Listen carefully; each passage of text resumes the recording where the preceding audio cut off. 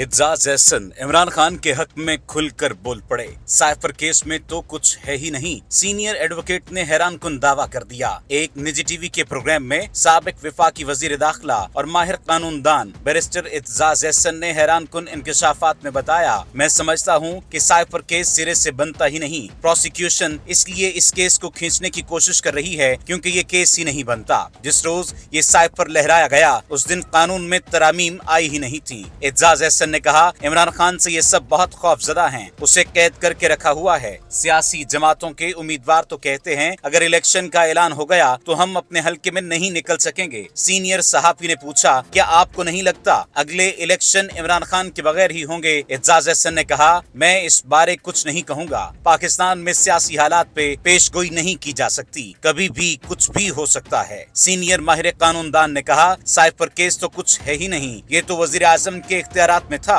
इस केस से इमरान खान का कुछ नहीं बिगड़ेगा